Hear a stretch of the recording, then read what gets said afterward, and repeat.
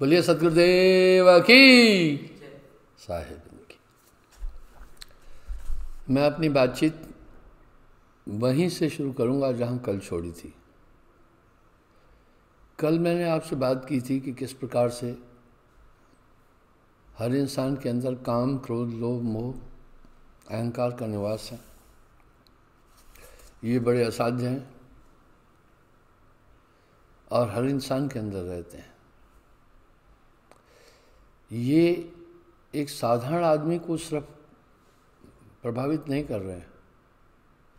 वरन बड़े बड़े धुरंधर, तपस्वी, ऋषि, मुनि, देवाधि, सब इनकी जकड़न में है।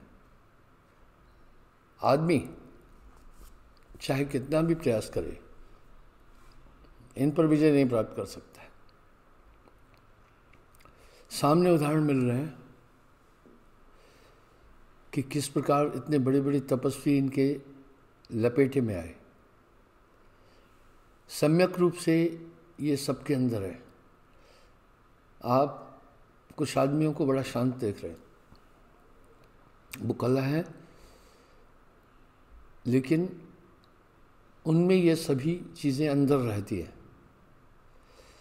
ये ऐसे रूप हैं, ऐसे दुश्मन हैं जिन पर ये मनुष्य विजय अपनी ताकत से कभी नहीं प्राप्त कर सकता। हज़ारों साल तपस्या करने वाले साधकों को भी देखा, उनको भी अपने अधीन किया। तो बपरा, कलयुग का ये जीव इनसे कितनी फाइट करेगा? मैंने आपसे कल एक बात कही थी। ये तन विष की बेलरी, गुरु अमृत की खान, शीश दिए जो गुर मिले तो भी सस्ता जान। आखिर शास्त्रों में कहा गया है, गुरु बिन ज्ञान न उपजे कोटन करे उपाय। ऐसी क्या बात है? ये ज्ञान कौन सा? अंतर्ज्ञान। अंतर्ज्ञान क्या है? आंतरिक ज्ञान वो एक तो बाह्य वंशक ज्ञान है, जो हमें संदेश अपनी आत्मा से मिले। हमारा अंतःकरण जिन चीज़ों को हमें प्रेरित करे, हमारी आत्मा जागरूक हो जाए, उसकी मूल वृत्ति चले। ये गुरु आंतरिक ज्ञान देता है, नाम की ताकत के बिना। घुमा फिरा कर हम एक ही पॉइंट पर आएँगे। नाम के बिना इंसान का हृदय कभी शुद्ध नहीं हो सकता। नाम बिना हृदय शुद्ध ना हुई, नाम बिना हृदय शुद्ध ना हुई, कोटिन, एक नहीं, कोटिन भांत करे जो कोई। तो जब ये नाम की ताकत आएगी, तभी ये कंट्रोल में आएँगे, नहीं तो आप इनको किसी भी कीमत में कंट्रोल नहीं कर सकते। नाम जो रत्ती को, पाप जो कोटि हज़ार सभे जार के छार करे, जैसे चिंगी आग की पड़ी पुरानी घास। अगर, यानी जैसे बड़े विशाल पुरानी घास के ढेरों को भी, आप देखते एक चिंगारी काफ़ी है भस्म करने के लिए। इसलिए नाम हृदय शुद्ध करेगा, पर क्यों? वो चेतन नाम है, वो सजीव नाम है, वो आपसे बिल्कुल भी बातचीत करेगा, आपको अंदर से प्रेरणा देगा। आप चाहे जिस भाषा को जानने वाले हैं, वहाँ भाषा की प्रॉब्लम नहीं है। ये जहाँ बोलता है, मने रहा हम सब केवल भौतिक भाषाओं को जानते हैं, तरंगों की भाषा को नहीं जानते। अनहद लूट हो तो घट भीतर घट का मरम न जाना। तो गुरु सजीवन नाम बताए, जाके बल हंसा घर जाए, तभी ये हृदय शुद्ध होगा। वरण किसी भी कीमत में ये हृदय कभी शुद्ध नहीं हो सकता है। कितने तपसी तब कर डारे। काया डारी गारा ग्रह छोड़ भय सन्यासी तेव न पावत पारा। इसी तरह आखिर फिर क्या होगा? जैसे मैंने आपको मन का परिवार बताया, वो बड़ा विभत्स है। काम, क्रोध, लोभ, मोह, अहंकार आदि ये मन का परिवार है।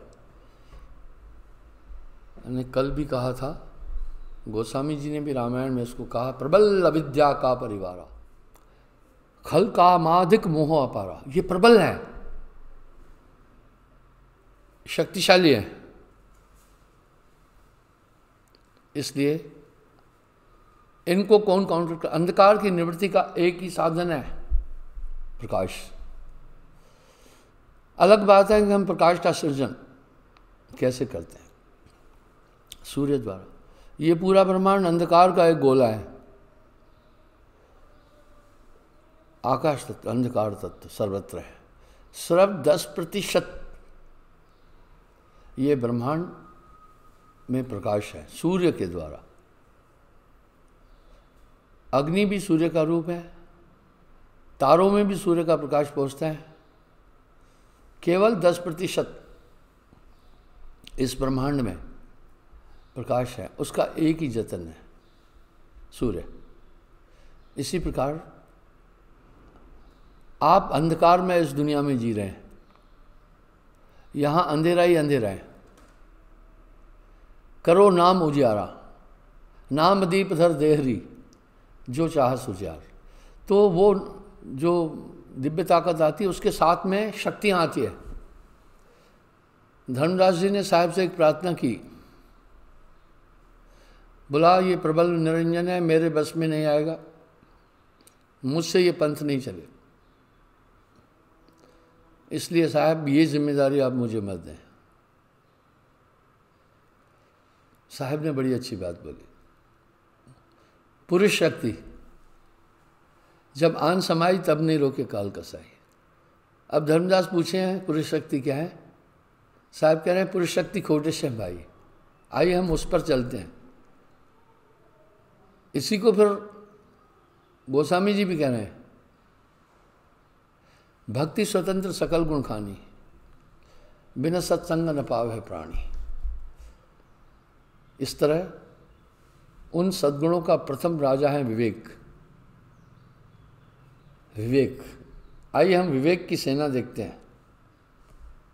वाह।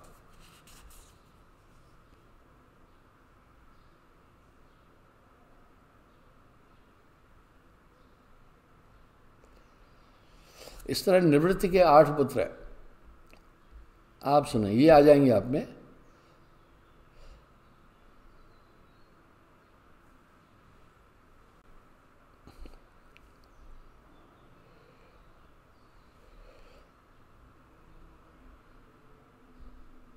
विवेक का परिवार है, राय विवेक की।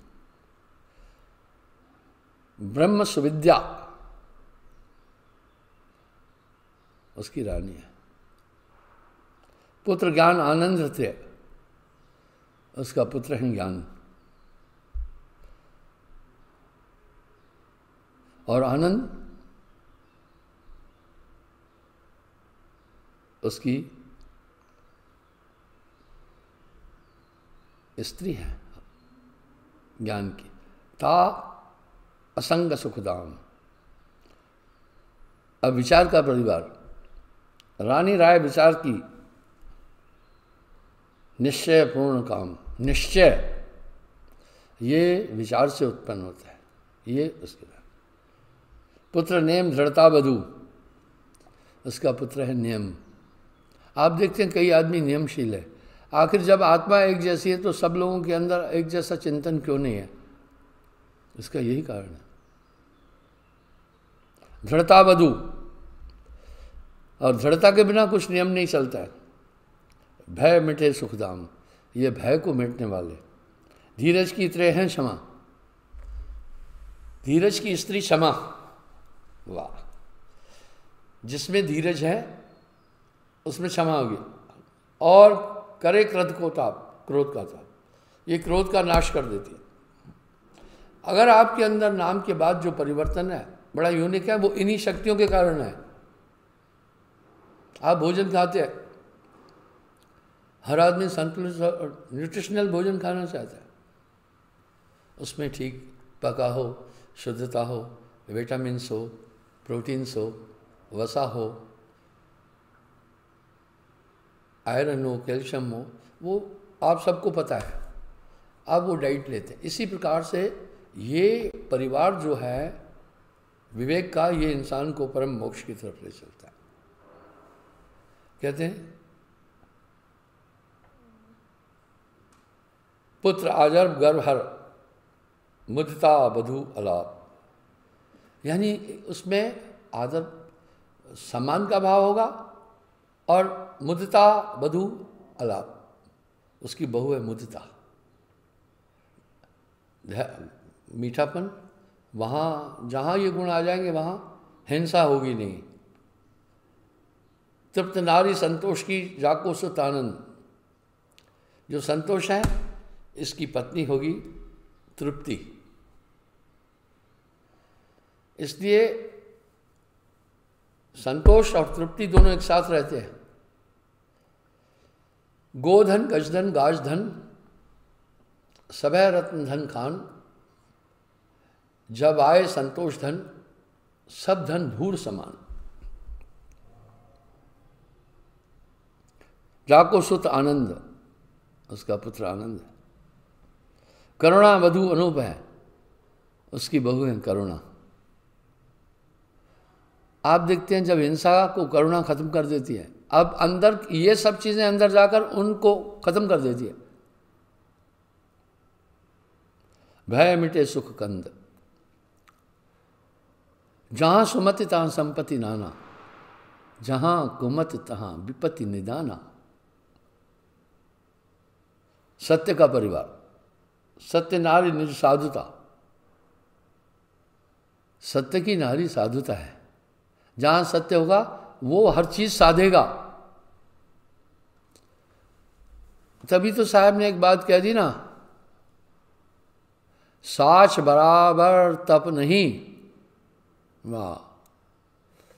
झूठ बराबर पाप। जाके हृदय साचे, बाकी हृदय आप। जिज्ञासा ताकि बधु प्यारी सा परिवार।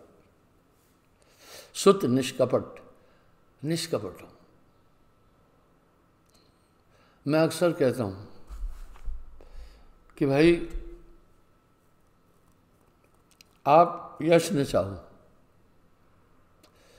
अभी जब से हमारी संस्था करीब आजकल पाँच हज़ार लोगों से बढ़कर सात आठ हज़ार हो गए। तो मेरे पास मीडिया वाले आते हैं। मुझसे आकर कई सवाल पूछते हैं। मैं उनको एक बात अवश्य बोलता हूँ। मैं कहता हूँ, भाई, इस लॉकडाउन के टाइम पर लोग अपना लॉकडाउन के काम पर हम मानव समाज एक बरादरी है। बहुत छोटी सी ये बरादरी है। जितने इंसान हैं ना एक बिल में इतनी चीटी रहती है।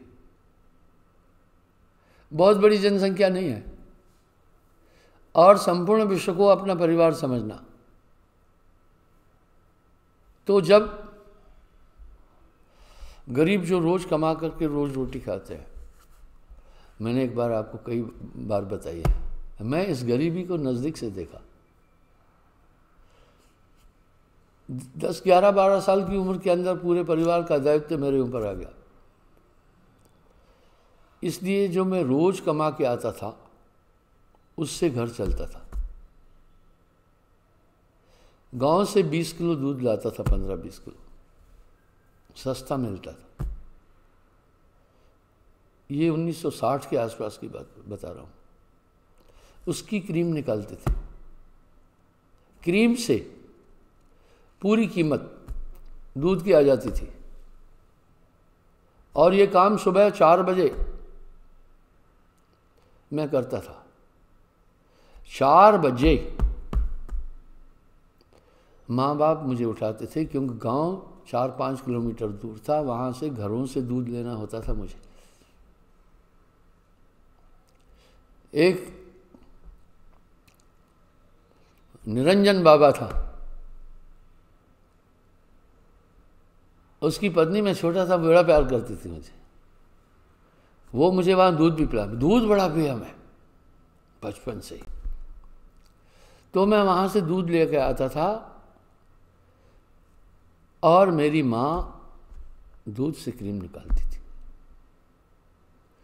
तो सुबह रोज जो ये मेरा, मॉर्निंग वॉक था, मैं घमंड से नहीं बोलता हूँ, मैं अपनी बटालियन में वॉकिंग में मेरा कोई मुकाबला नहीं कर पाता था।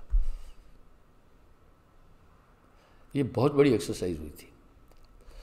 उसके बाद मैं नदी पर ही हाथ मुँह धोता था। घर आते ही दूध रखकर दही की मटकी उठाता था सर पे। वो दही बेच देता था। और 11 बजे से 4 बजे तक स्कूल होता था। कभी कभी प्रेयर में नहीं पहुँचता था, जब मैं कहता, म्याई कविन सर, उस समय अध्यापक लोग बड़ी तगड़ी यंत्रणा देते थे, बड़ा मारते थे, डंडे मारते थे, हाथ टेबल के नीचे रखकर ऊपर खुद बैठ जाते थे। इतनी यंत्रणाएँ थी। अच्छा हुआ अभी ये गवर्नमेंट ने बंद कर दिया कि किसी बच्चे को नहीं मारना। तो उसी पैसे से रोज राशन आता था। रोज उसी से लकड़ी लेनी है रोज उसी से नमक मिर्ची लेना है, डेली। अगर एक दिन भी नागा हो गया तो पूरा काम मिट जाता। इस गरीबी ने कुछ सिखाया। इसलिए जब कभी ऐसा हो जाता था तो मेरे छोटे भाई भूख से रोते थे। मेरी माँ तसल्ली देती थी। मुझे वो दृश्य अच्छी तरह से याद है, इसलिए मैं भूख को समझता हूँ। कल मैंने एक चैनल पर देखा। अच्छा ठीक है भाई, मैं राजनीति में हूँ नहीं, मैं तो ये बोल रहा हूँ। एनडीटीवी पर मैंने ये चीज़ देखी। एक स्त्री रो रही थी, बड़ा फूट फूट कर। जब उससे पूछा, क्यों रो रही हो? उसने एक डाइट दिखाई। दाल और चावल था उसमें। बोला, मेरे चार बच्चे हैं। और इस भोजन को हासिल करने के लिए लंबा टाइम लगता है मुझे। और उस बच्चे को रोते हुए भी देखा है छोटा बच्चा था।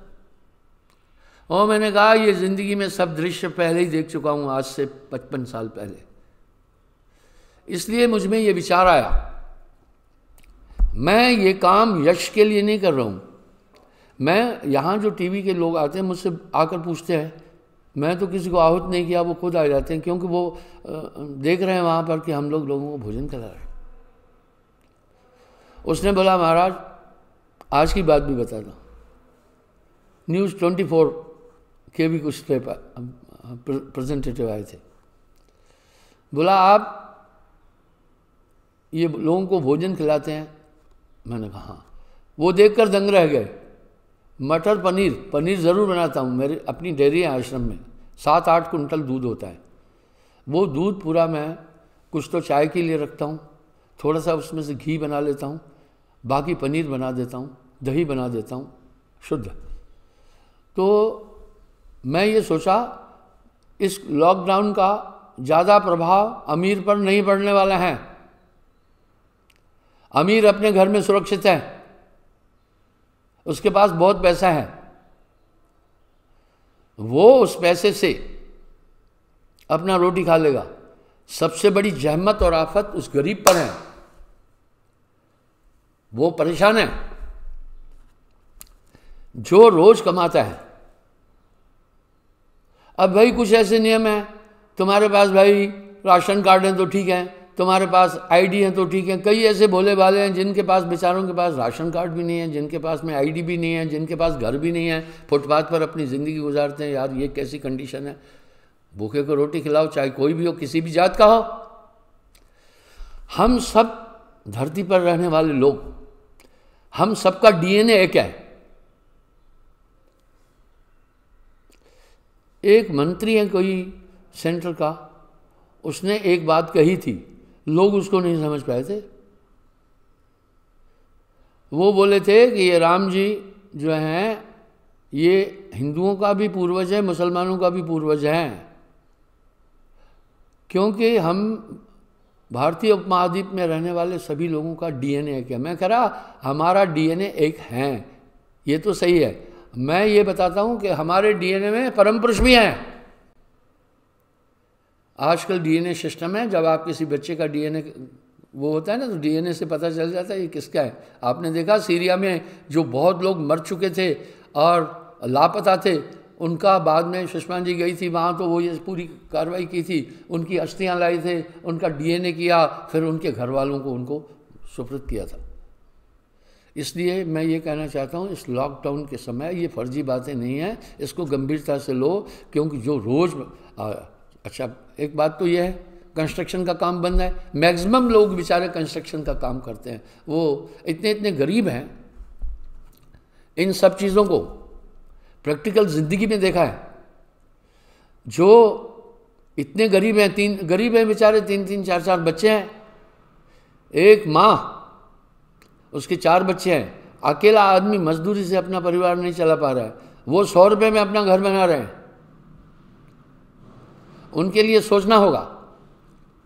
सौ रुपये मात्र में घर बनाते हैं। एक टाट पट्टी लाते हैं, एक बाँस लगाकर अपना वहाँ मकान बनाया। उनके पास कोई रहने की सुविधा नहीं है। उनके पास कोई टॉयलेट नहीं है। उनके पास कोई पानी की सुविधा नहीं है। टूर से आते हैं, पिछड़े जगहों से आते हैं, कहीं बिहार से आते हैं, कहीं यूपी से आते हैं, कहीं छत्तीसगढ़ से आते हैं, कहीं अपना झारखंड से आते हैं, और भी जगहों से आते हैं। वो आ, आकर के काम करते हैं। और वो माँ क्या कर रही है? काम कर रही है, पीछे उसने बेटे को बाँध रखा है। और वाह, ये जटिल लाइफ है। और हथौड़े से पत्थर भी तोड़ रही है। अगर उनको अभी काम नहीं मिलेगा, भूख उनको मिटा देगी। ये दृश्य आप चलते दुकानों में ही देख रहे होंगे, सड़कों पर भी देख रहे होंगे। हमें उनके लिए सोचना है। अगर आपके पास ज़्यादा हैं, आप अपने पड़ोस में ऐसे लोगों को चिन्हित करो, उनके पास आप खुद जाओ। मैं मुझसे आज एक सवाल पूछा, बड़ा यूनिक पूछा, मिस्टर शर्मा था। बोला महाराज, एक बात बताओ। ये आप कब तक करेंगे भोजन का इंतज़ाम? आप कितने लोगों का भोजन का इंतज़ाम कर सकते हैं? मैं बोला, एक लाख लोगों का। और ये बढ़ाई के लिए नहीं। अगर जो बढ़ाई के लिए कर रहा है तो उसको आगे, उसने तो बढ़ाई हासिल करनी थी। उसको हासिल कुछ नहीं होने वाला फिर। ये निष्काम हो। उसने बोला, फिर वो पूरा पूरा हमारे आश्रम का सर्वे किया। मैंने उसको कम से कम 25 बड़े बड़े चूल्हे गिनाए। उस, मैंने कहा, भाई, मैं इसलिए ये थोथी बात नहीं कर रहा हूँ। मैं एक लाख आदमी को रोज भोजन, अपनी संगत और प्रभु की कृपा से प्रोवाइड कर सकता हूँ। क्योंकि मेरे जो बड़े भंडारे लगते हैं आश्रम में, आप सब जानते हैं, आप मेरी संगत जानती हैं। उस पूरे भंडारे में क्या होता है, करीब एक लाख लोग आते हैं। नव वर्ष के उपलक्ष्य में, मेरे जन्मदिन पर, गुरु पूर्णिमा पर कबीर जयंती पर।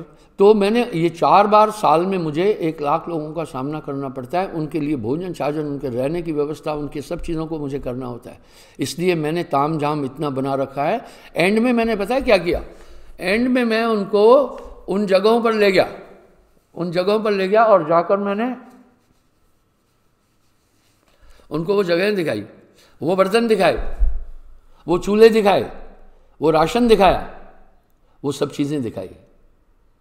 तो मैं भूख से परिचित हूँ। भैया ठीक है, कुछ लोग तो हैं बेचारे, वो जा रहे हैं, कुछ घूम फिर कर के आ रहे हैं। भारत की पूरी सीमा का मैं प्रैक्टिकल परिचित हूँ। चलो भाई, कोई बड़ा आदमी थोड़ी देर सियाचिन चला गया, उसके लिए पूरा इंतज़ाम था, आकर बता था हम उधर मथा मार के आए। चलो कोई नॉर्थ ईस्ट की बात कर रहा है। मेरे भाई, हम वहाँ तीन साल रह करके मत्था मार के आए प्रैक्टिकल ज़िंदगी का अनुभव है मेरा ये।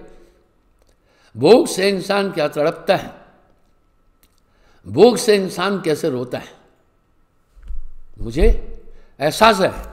इसलिए मैं, उनको मैंने ये दिखाया। मैंने कहा, भाई मेरी बात सुनो। आप मेरी बात को गप मत समझो। आपको चलो मैं स्टोर दिखाता हूँ जहाँ मेरा राशन है। आप चलो मैं आपको भांडे दिखाता हूँ। आप मेरे साथ चलो, मैं अपना कुक हाउस आपको दिखाता हूँ। आप मेरे साथ चलो, मैं आप, अपना बगीचा भी दिखाता हूँ, मैं सब्ज़ियाँ जहाँ पैदा करता हूँ। हुआ क्या?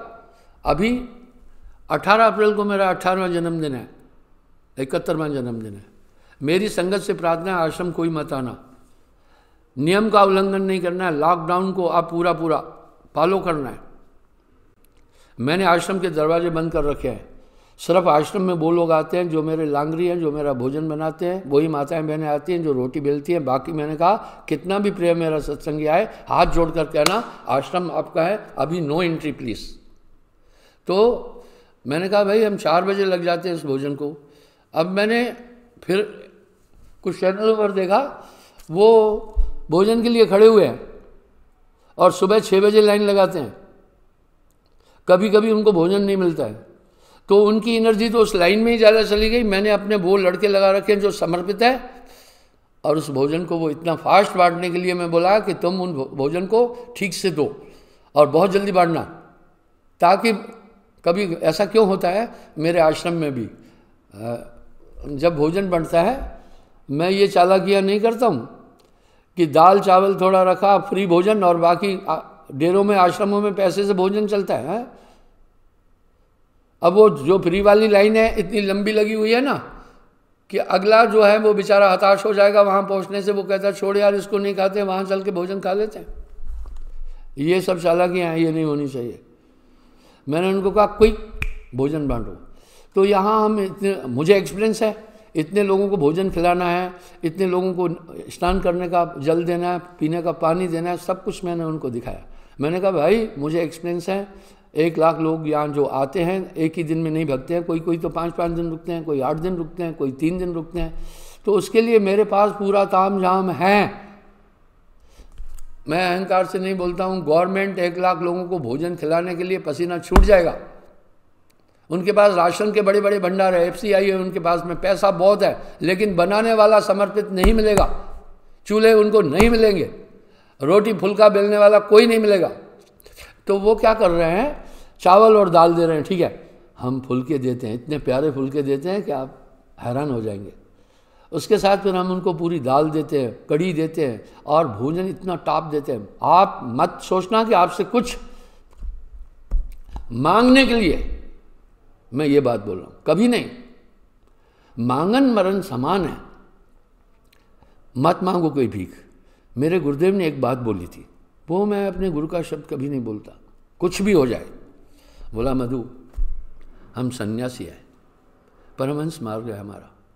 मांगना मत। मैं मांगने को और चंदे को करप्शन मानता हूँ। बोला, तीन भिक्षाएँ मत लेना। कौन सी? एक है, मानस एक है राजस, एक है तामस। मत लेना। अच्छा ठीक है। फिर आकाशवर्ती जो स्वयं आए उसको ग्रहण करना। तुम घबराना नहीं, पर मांगना मत। वाह, साहब ने क्या कह दिया? मांगन मरण समान है, मत मांगो कोई भीख। मांगन ते मरना भला, यही सदगुरु की सीख। मांगना नहीं, ठीक है? आज तक मुझे कभी कमी नहीं आई। आज तक मैंने 220 आश्रम बनाए, आप आश्रमों को देखकर हैरान हो जाएँगे, इतने विशाल विशाल आश्रम है। पर कभी मैंने संगत को भी अपील नहीं किया है कि मुझे पैसे दो। सती न पीसे पीसना।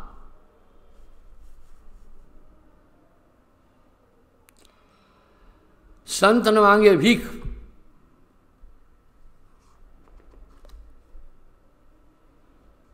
वाह। सती ने पीसे पीसना, जो पीसे सो रांड।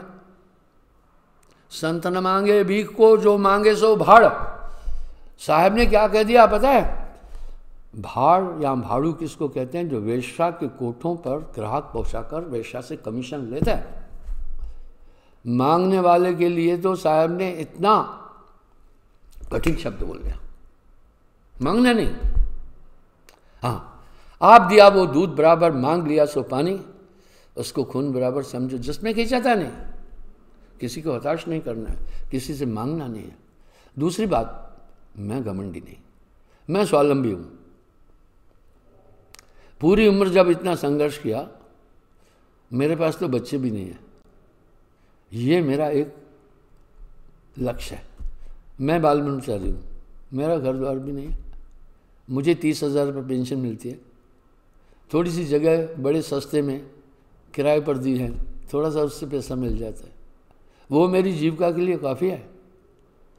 मेरे पास कोई दोष भी नहीं है, कोई हैबिट भी नहीं है। कपड़े इतने ढीले पहनता हूँ पाँच पाँच साल नहीं पड़ते आप भ्रष्टाचार से बचना है तो अपनी आवश्यकताएँ सीमित करो। आप इस शरीर के लिए जो पाप कर रहे हैं, वाह, छल कर रहे हैं, कपट कर रहे हैं, धोखा कर रहे हैं, दूसरे का धन ले रहे हैं, ये तो शरीर की तृप्ति हुई, पर इसका प्रतिफल भोगने के लिए हमारी आत्मा को कष्ट उठाना पड़ता है। हमारा जन्म स्वेच्छा निर्मित तन हमारे कर्मों के कारण से होता है।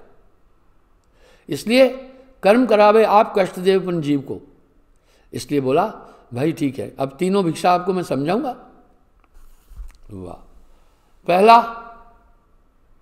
वाह। राजस भिक्षा है, मानस।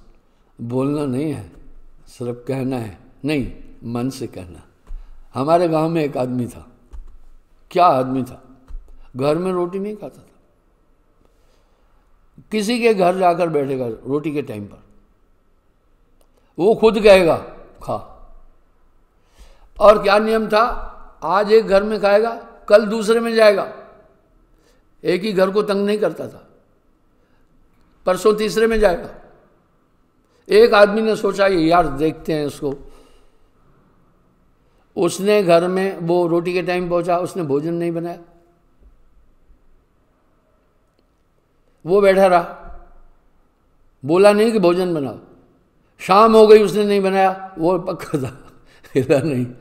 वो बैठा रहा। एंड में उसने कहा, मेरे बाप, तू नियम का बहुत पक्का है। तो इस तरह से कुछ मानस भी कैसी होती है, मांगी नहीं जाती है। अगला, वो कभी किसी को नहीं कहता था, मुझे रोटी खिलाओ। बस बैठ जाता था। आप चाहना भी मत किसी से कि ये मुझे दे। जो तुमसे कुछ चाहता है, वो तुम्हें कुछ नहीं दे सकता। आप दिया आइए। आगे। ये है मानस भिक्षा। और क्या होता है, पता है? इसमें यूँ होता है, मैं एक विशेष मंदिर की बात बताता हूँ। मैं निंदक नहीं हूँ। तो मैं वहाँ पहुँचा। कोई आया था हमारा वहाँ घूमने आश्रम में हवेलिया। वहाँ से अयोध्या जी सात आठ किलोमीटर, बारह तेरह किलोमीटर है। कहा, अयोध्या जी घूमना है। मैंने कहा, इसको मैं खुद ले जाता हूँ। तो इस स्थान पर जो कुछ चढ़ावा दे रहे थे, उनको टीका करके, मंत्र बोल करके जा रहे एक ने नहीं दिया कुछ। उसको पता है टीका ऐसे लगाया, शक्ल बिगाड़ दी। कुछ और बोला ही नहीं। अपना विरोध जताने के बहुत बड़े तरीके हैं। मैं कहा अच्छा अच्छा ठीक है। ये भी एक तरीका है। तो दूसरा है राजस भिक्षा। वो ये कहना, हम ये ये शुभ काम कर रहे हैं, हमें पैसे दो। आज लॉकडाउन का बीसवां दिन है। कोई कह सकता है मैंने अपील की कि संगतों पैसे भेजो? नथिंग एट ऑल ये मेरा अहंकार है क्या? नहीं, ये मेरी दृढ़ता है। मैंने कभी नहीं कहा। आखिर अगर थोड़ी देर के लिए मैं उधार मांगना है, मंजूर करूँगा। मैं आपको अपील नहीं करने वाला कभी, ना ये कहूँगा, खुद दो। नहीं, तुम्हारी गर्ज है तो दो। मैं क्या बोल रहा हूँ? मेरी गर्ज नहीं है, तेरी गर्ज है तो दे। मेरी गर्ज नहीं। क्यों गर्ज नहीं है? मुझे कोई ज़रूरत ही नहीं है। मुझे कोई ज़रूरत नहीं है। आइए। तो इस तरह से उनको संतुलित भोजन देता हूँ। ये कोई चंदे या आपसे धन प्राप्ति के लिए बात नहीं है मेरे भाई बहनों अब कुछ लोग कैसा भोजन दे रहे हैं वो सुनना। मैं आपको उदाहरण देता हूँ, बीजेपुर में काफ़ी संस्थाएँ भी भोजन दे रही थी मुझे बेचारे एसडीएम साहब ने और अपना एसएचओ ने प्रार्थना की कि महाराज, आप नाश्ता और दोपहर का भोजन आप दें। मैं कहा, ठीक है। तो देने, मैं कहा, कितने आदमी का? बोला, पाँच सौ आदमी का। ठीक है। मैं पाँच सौ को भेजा। दूसरे दिन बोला छः सौ का फिर भेजा। बांटने वालों ने कहा, कम पड़ गया। छः सौ का भेजा। फिर कम हो गया। एंड में अभी तीन हज़ार से ज़्यादा वहाँ आदमी भोजन खा रहे हैं। मैंने कहा, ये क्या बात हो गई? बोला, गुरुजी, जो बाकी संस्थाएँ, मैं संस्थाओं की निंदा नहीं कर रहा हूँ, उनकी एक थोथी करनी बता रहा हूँ। बोला, उबले हुए चावल जिसमें थोड़ी हल्दी डाल देते हैं, उबले हुए आलू, लोग उस, उधर नहीं जा रहे हैं, जो वहाँ खा रहे थे, वो सब इधर डाइवर्ट हो गए आपकी तरफ़। मैं कहा, वेलकम वेलकम। अभी मोर देन थ्री थाउज़ेंड जब भोजन बनाया एस एच ओ साहब मुझे फ़ोन किया, साहब कल थोड़ा और ज़्यादा बनाना पचास साठ आदमी रह गए। तो मैं पचास साठ की जगह दो सौ आदमी का भोजन और ज़्यादा बनाया। वापस आया, ठीक है, कोई बात नहीं है। तो आप ऐसे कठिन स्थिति में एक टोटल पूरा नहीं करो। भोजन खाने से इंसान को एक संतुष्टि मिलती है। भोजन खाने से ऊर्जा मिली। ज़्यादा ऊर्जा तब मिलती है जो भोजन खा करके संतुष्ट होता है। अगर भोजन खा करके संतुष्ट नहीं हुआ तो उसको आधी ऊर्जा खत्म हो गई। इसलिए लजील स्वादिष्ट भोजन बनाता हूँ। तो लोग भोजन खा सके। ये परमार्थ ज़िंदगी का एक हिस्सा है। हम एक परिवार है। अगर मैं उन लोगों से ये दरख्वास्त करूँगा, आपके पड़ोस में कोई भूखा है, उसको भोजन दे दो। अब वो स्त्री, कोई भी न्यूज़ है उसका सात दिन तक नेट में रहेगा। आप एनडीटीवी में चले जाना। वो बहुत रो रही थी। उसका एक और सवाल था। बोला, मेरे पयोधर में दूध भी नहीं आ रहा है। भूखी होने के कारण से बच्चा छोटा छोटा सा है। पहले वो ज़रूरतमंद है। वाह। आप अपना सिर्फ़ सुख नहीं देखना। ये पूरा परिवार है। पूरा विश्व हमारा परिवार है। इसलिए विश्व में शांति हो ये धर्म बोलता है। तो आप उनको, आपसे मेरा निवेदन है, भोजन ज़रूर देना चाहिए। अगर हम इसी प्रकार से, और झुगी झोपड़ियाँ कहाँ हैं, आपको बताता हूँ, मैं मजदूरी भी किया हूँ, भाई। मैं जंगल से लकड़ी काट के भी बेचा हूँ। सुनो, ये देश का निर्माण गरीब करता है। इनका घर नहीं होता है। ये कहीं दूर से आते हैं। आकर के क्या करते हैं? सौ रुपये का घर बनाते हैं। बड़ी बड़ी ऊँची इमारतें हम सबके लिए बनाते हैं। एक छोटी झोपड़ी बनाकर वो वहाँ रहते हैं। और उसी दिहाड़ी मजदूरी से और गरीबी के कारण उनके पास बच्चे भी ज़्यादा हैं। वो रोटी खाते हैं। अभी जब कंस्ट्रक्शन पर भी बैन लग गया, बाकी चीज़ पर बैन लग गया, सब चीज़ों पर बैन लग गया तो उनका जीवन यापन का ज़रिया स्टॉप हो गया कि नहीं हुआ? ऐसी बस्तियों में जाओ। मैं ढूंढता तुझे था जब कुंज और वन में। तू खोजता मुझे था तब तीन के वतन में। बाजे बजा बजा कर मैं था तुझे रिचाता तब तू लगा हुआ था पततों के संगठन में। वाह, पाटेश्वरी दयाल मिश्र कठिनाइयों, दुखों का इतिहास ही सुधन है।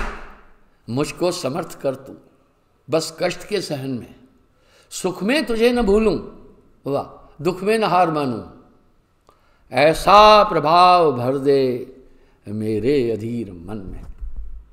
तो थोड़े पुरुषार्थी बनो। समलोक इस योग न जाए चला, कब व्यर्थ हुआ सदुपाय वाला तो इस तरह से आप ये ध्यान दे। आप ये कन्वेंस हो, आप ये देखें कि सही में आपके पास में कोई भूखा तो नहीं।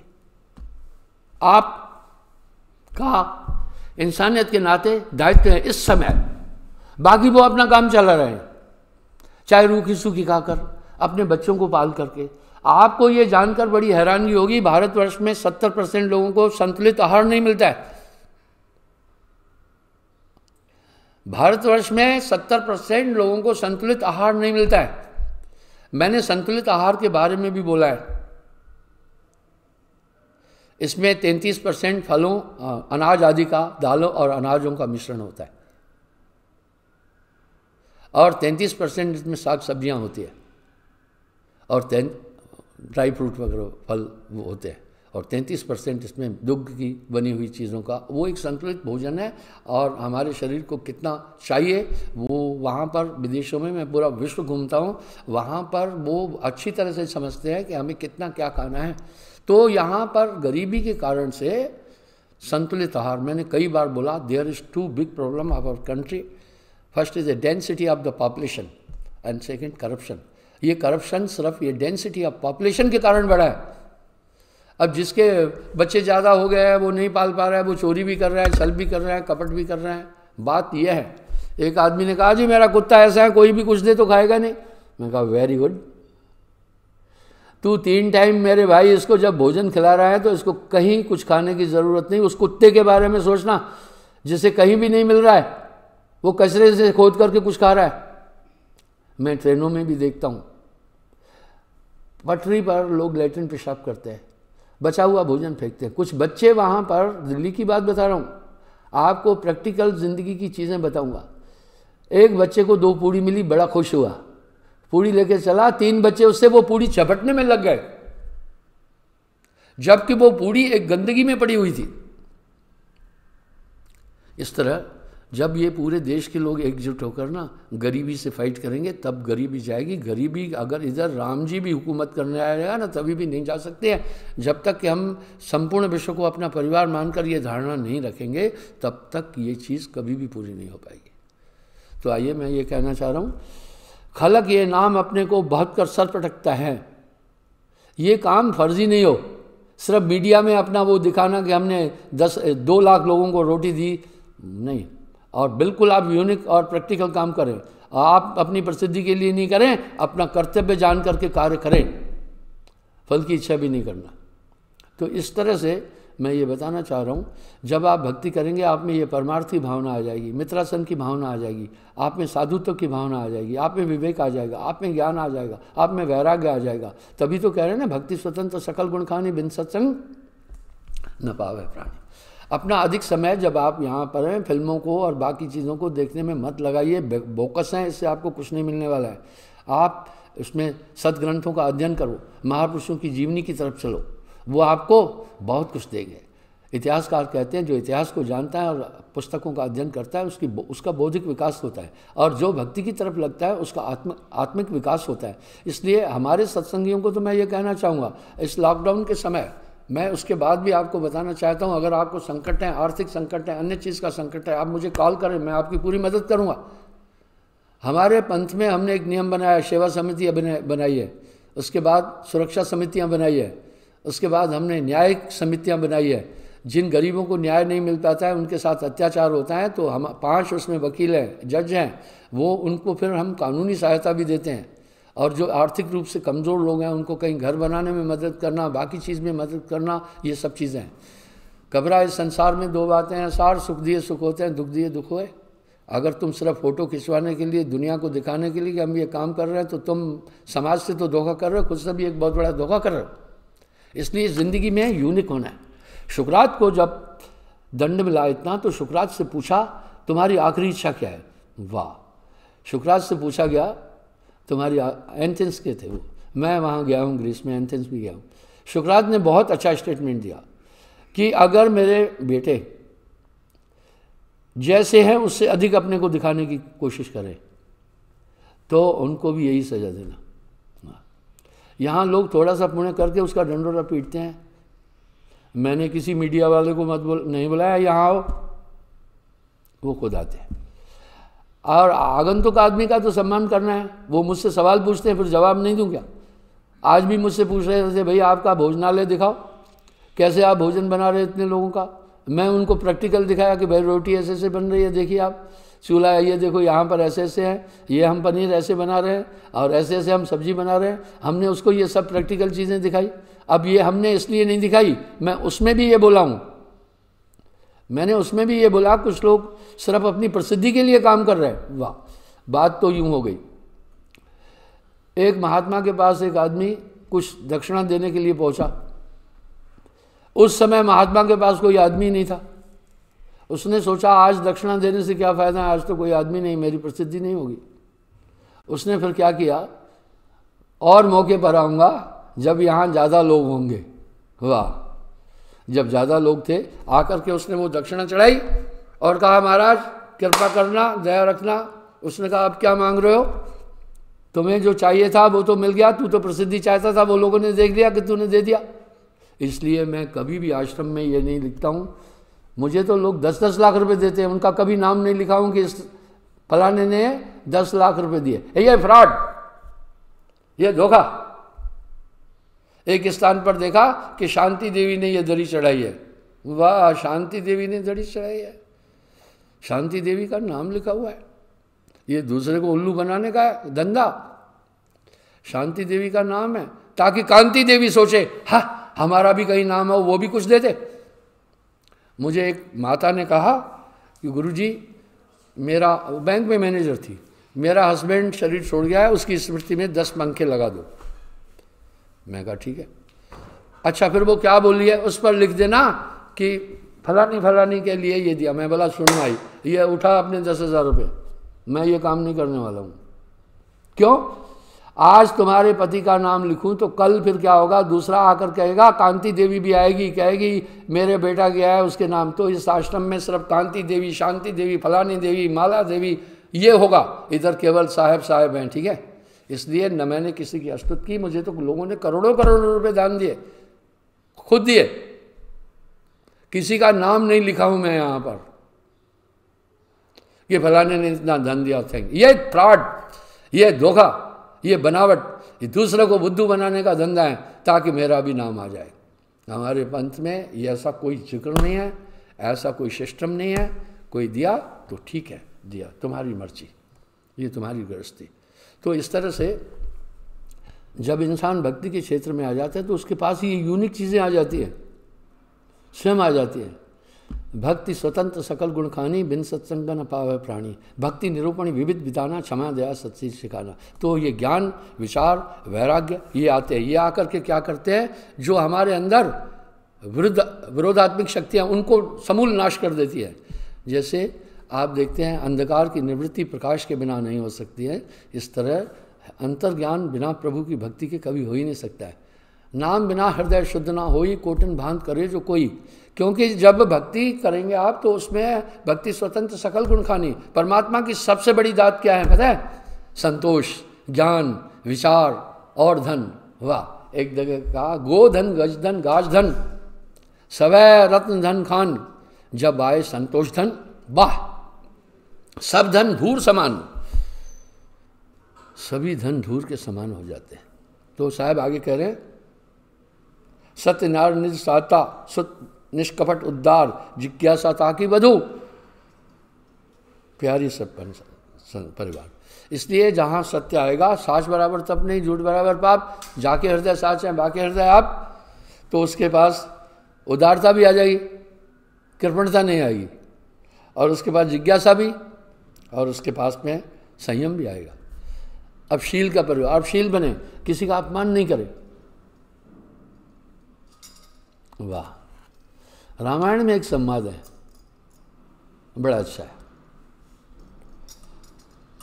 जब कई कई कई वरदान के अनुसार उन्होंने मांगे थे, राम जी को वनवास जाना पड़ा। उस समय भरत जी ननिहाल में थे। भरत जी थे ननिहाल में। बड़ी दूर। उनका ननिहाल कश्मीर है। क्या कई कश्मीर की थी। इसलिए इसको कह कह देश कहते थे, धीरे धीरे धीरे कश्मीर हो गया। उच्चारण नहीं हो पाया। जब वापस आया, उसको ये पता चला कि मेरी माँ ने मेरे भ्राता को जंगल भेज दिया मुझे शासन देने के लिए। वाह। और भरत को मंजूर नहीं हुआ। भरत जैसा भाई नहीं मिलता। उसने अपनी माँ को कहा, मुझे दुख है, मैं तुम्हारी कोख से जन्म लिया। मुझे समाज कभी क्षमा नहीं कर पाएगा। लोग कहेंगे, इसमें भरत की भी इच्छा थी।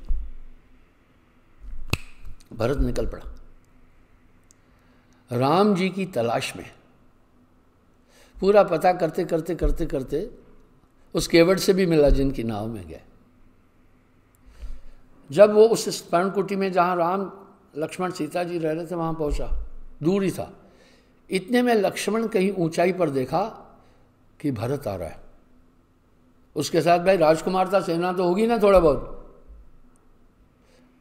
और तेज़ी से आकर वो धनुष उठाने लगा अपनी कुटिया से। राम जी ने पूछा, क्या है? क्यों इतनी जल्दी में हो? बोला, भैया, मैंने आपको पहले ही बताया था कि इसमें लक्ष्मण की भरत की साजिश है। माता कह कही का नहीं, भरत चाहता था शासन, इसलिए हम सबको इधर भेजा है ना। वो अभी फौज लेकर हमें यहाँ मारने के लिए आया, आ रहा है। वाह। राम ने कहा, ए, मूर्ख, तू ये क्या सोच रहा है? भरत ऐसा नहीं कर सकता है। वहाँ ये सम्मान आया लक्ष्मण को समझाया। बड़ा समझाया, तेरे अंदर, तेरे मानस में ये धारणा गलत आ गई है। लक्ष्मण, ऐसा नहीं है। अच्छा आने दोस्तों रख, धनुष रख रख। भरत आया। वो प्रसंग बड़ा मार्मिक है। जब आकर के उनको प्रार्थना की कि भाई, आप बड़े हैं और राज्य के अधिकारी आप हैं? आप चलो। राम ने कहा रघुकुल रीत सदा चलाई, प्राण जाए पर वचन न जाए। महाराजा रघु उसी वंश से हरिश्चंद्र भी थे। बोला, नहीं, देखो, बड़ा समझाया कि भरत कोई बात नहीं, तू शासन कर, मुझे कोई दुख नहीं है। ये विधि का विधान है, मुझे आना था। माता कह कही का भी कोई दोष नहीं। तू शासन कर। भरत समान को राम सनेहू जग जके रा, जप जपे राम राम जपे तेहू। गोस्वामी जी बड़े अलंकार से बोल रहे हैं कि भरत समान को राम स्नेहू। राम जी के लिए भरत से अधिक प्रिय कोई था ही नहीं। जग जपे राम राम जपे तेहू। बोला हे ब, हे लक्ष्मण राम बड़ा शील है। राम भरत बड़ा शील है बड़ा गुणवान है। वशिष्ठ मुनि मुझसे ज़्यादा भरत को प्यार करते हैं। वाह यहाँ का है। जा पर गुरु को अति अनरागू। को कह सकें भरत को भागु। गुरु प्रसन्न साहेब नकूला। मिटी मलिन मन कलपत सोला वाह, कह रहे हैं, हे लक्ष्मण, भरत बड़ा भाग्यवान है। भरत के भाग्य की सराहना नहीं कर सकता, मुझे भी। भरत के भाग्य से ईर्ष्या होती है। क्योंकि वशिष्ठ गुरु भरत को बहुत प्रेम करते हैं, वो शील है। वो किसी का अपमान नहीं करता। यही शील का ज़िक्र है। ये सदगुण है। भरत आने के बाद क्या बोला? आखिर में क्या बोला? ठीक है। आप नहीं चल रहे मेरे लिए चलो। वाह। भरत जानता था कि ये मुझे बड़ा प्यार करते तब यहाँ राम ने उसको समझाया, नहीं, तू मुझे पिता का वचन न कटे। ये विधि का विधान है, मुझे जाना है। तू जा। वाह। क्या बात है?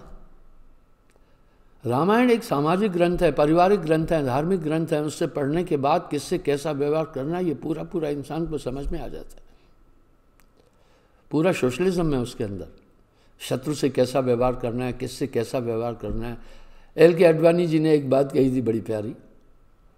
जो महाभारत पूरी पढ़ लिया उसने पूरी राजनीति सीख लिया। हाँ, बड़ा काफ़ी सूझबूझ वाले आदमी। और मैं किसी पार्टी में नहीं हूँ कभी भी नहीं जाऊँगा राजनीति में कुछ भी हो जाए धरती इधर से उधर हो जाए। मैं तो एक सन्यासी सत्यवादी हूँ राजनीति में तो साम दाम दंड भेद झूठ छल कपट सब सब कुछ चलता है। मेरा ये क्षेत्र नहीं है। एल के अडवाणी को संसद में भी उसकी बात को लोग बहुत गंभीरता से सुनते वो एक तरह का भारतीय राजनीति का भीष्म है। अभी वृद्ध हो गया। तो उन्होंने कहा, जिसने महाभारत पूरी पढ़ ली, वो पूरी राजनीति में निपुण हो जाएगा। इस तरह मैं कह रहा हूँ, जिसने पूरी रामायण का अध्ययन कर लिया, वो समाजवाद और मर्यादाओं को अच्छी तरह समझेगा। पूरा पूरा उसे सोशल लाइफ समझ में आ जाएगी। शत्रु से कैसा व्यवहार? पत्नी का हरण करके ले गया रावण उसके बाद भी अपना दूध भेजा है। देखिए नीति क्या है? राम राजनीति को बहुत अच्छी तरह जान देते तो इस तरह से शील इतनी बड़ी चीज़ है मेरे भाई जब शील आ जाता है ना इंसान किसी का निरादर नहीं करता है। ये गुण था भरत में। भरत समान कोई शील नहीं। आगे कह रहे हैं शील नार लज्जा सुबक हम्म, शील की पत्नी सुबकता है। प्रलय करे उर्शुल हाँ प्रलय करे उर्शुल यानी अंदर के और कैसे हृदय उसकी पीड़ाओं को खत्म कर देगी। इसलिए सुखी सोही जय नाम आधार। वाह भैया, ऐसे नाम को छोड़ कर को अस सठ जय ना है सुहाई। उससे बड़ा मूर्ख कौन है? गोस्वामी जी कह रहे हैं, जिसको परमात्मा का स्मरण अच्छा नहीं लगता है। वाह, कामी नार प्यार जिम। लोभी प्रिय जिम नाम गोस्वामी जी कह रहे हैं। हे, जैसे कामी को नारी बड़ी प्यारी है, पल पल पल पल, बस उसी में रहता है। और लोभी को जैसे धन प्रिय हे प्रभु तस, निरंतर मोहि प्रिय लागे। हे, प्रभु, तेरा नाम। तो साहब ने कहा, नाम न जपस तो कमन दंड लागा। इस नाम से, इस नाम रूपी पेड़ से जो फल उत्पन्न होने वाले हैं, मोक्षदायक हैं। स्मरण कर ले, मेरे मना तेरी बीती उम्र सतनाम बिना। इसलिए ये सुमरण बहुत ज़रूरी है। एकांत भी आपको मिली, आप भजन करें ऊपे ऊपे में सुयस्वन कीर्ति बधु शुभ मार्ग अनुकूल। ये सभी चीज़ें, इन सब मिल, जीव लहे ठिकाना, उस परम तत्व की प्राप्ति कर लेता है। श्रद्धा, नार, सो धर्म की, अब धर्म का परिवार सुनना। धर्म के, की जो पत्नी है, वो है श्रद्धा। जहाँ धर्म है, वहाँ श्रद्धा होगी होगी। सुत प्रकाशतः नाम, उसका सुत। है, प्रकाश। जहाँ प्रकाश है, वहाँ आदमी को सब काम स्पष्ट नज़र आएँगे। सुता भई सतवासना। उसकी पुत्री है, सतवासना। शुद्ध इच्छाएँ। ये भी तो एक इच्छा है ना, प्रभु की प्राप्ति। ये भी तो इच्छा है ना? ये भी तो इच्छा है ना, किसी का मॉडल करेंगे? ये भी तो इच्छा है ना? इसलिए सद इच्छा। ये उत्पन्न हो जाती है धर्म से। वधु साधुता जाम उसकी वधु, बहु है साधुता। रानी निज वैराग्य की उदासीनता नाम, उदासीन जग रहे गुसाई वो जगत के पदार्थों में आसक्त नहीं होता। इस तरह आज ये चैप्टर पूरा नहीं हो पाया, मैं थोड़ा दूसरी साइड में चला गया था तो कल पुनः मैं यहाँ से आगे चलूँगा। तो ये भक्ति स्वतंत्र सकल गुण खानी, बिन सत्संग न पावे प्राणी, आप भोजन तो खाओ ना यार सिर्फ़ आप भोजन खाओ, बाकी जठर काम खुद करेगा। वो खुद ही उसको ठोस अलग करेगा, प्रोस्टेट लगी हुई है। ओवरी लगी हुई है, सब चीज़ों को अलग करेगा और आप सिर्फ़ खाओ। आप सिर्फ़ सुमरण करो, बाकी उसका प्रतिफल नहीं देखना सब कुछ होगा। मैं लोगों से अपील करता हूँ, हमेशा संगत से भी, घर में दुआ लिखो सुमरण से सुख होता है, सुमरण से दुख जाए, कहे कबीर सुमरण किए साई माए समाए बोलिए, सदगुरुदेव की साहेब।